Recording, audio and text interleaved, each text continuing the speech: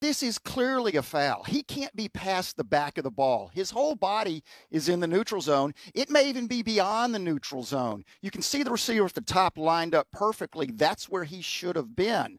And, and I would add, in past years, this has never been called. This would be technical. This would be a warning. This year, it's been called 11 times as opposed to twice last year, only once in 21 in 2021. So this is being consistently called. He needs to be onside.